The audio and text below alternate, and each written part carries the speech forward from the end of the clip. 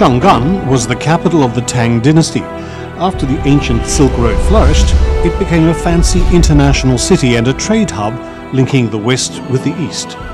The emperor decided to send an envoy to the West to show his good intentions to the people of the foreign kingdoms and bring back rare treasures. 臣奏请西行，出使诸国。 The envoys stepped on the legendary ancient Silk Road, starting from Chang'an via Liangzhou, Ganzhou, Suzhou, Gaochang, and Shula, and then to the Tang Kingdom, Baghdad, Damascus, and at last Constantinople, the capital of the Fulin Kingdom or Eastern Roman Empire. But at the time, it could take several years to complete the journey. Our handsome envoy also had to endure all kinds of challenges and threats. Finally, Fulin Kingdom was within reach.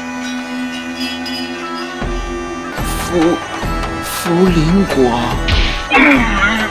Hey, my friend, wake up! 这这是哪儿？我还在福邻国吗？ Are you kidding? We're on a high speed train from Istanbul to Ankara. Eh? 哎，The most difficult 150 kilometers of the Oh. railway was built by the Chinese. The Tang envoy stepped out of the high speed train and boarded the flight from Ankara to Beijing. Dear passengers, our flight will fly over the ancient Silk Road. Travelling across the Eurasian continent no longer takes years. The China hmm? Railway Express has made transporting high quality products from China to Central Asia and Europe so much easier and faster. We are now above Samarkand in Uzbekistan, an important city on the ancient Silk Road. Many historical relics have recorded the glory days of the ancient route. The mural in Afrasiab Museum is just one of them. 嗯，这不是当年的康国吗？ The Central Asian natural gas pipeline is the longest of its kind in the world. People call it the Silk Road of natural resources. 现在西方诸国的宝贝已经不是宝石和玻璃了。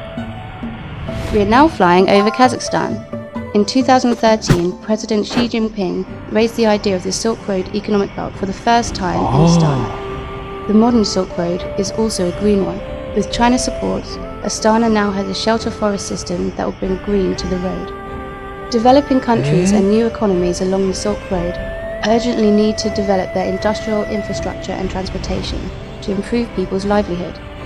Chinese engineers can be seen in road construction in Tajikistan and wind energy projects in Pakistan. 嗯，互通友好，万邦咸宁，至今未变啊！哇，当年西方诸国的珍宝，如今随处可见。 China has initiated the Silk Road economic belt and the 21st century maritime Silk Road. Together with other countries, we will create a community of common destiny, benefit, and responsibility. Within the community, we will have political mutual trust, integrated economies, and cultural tolerance.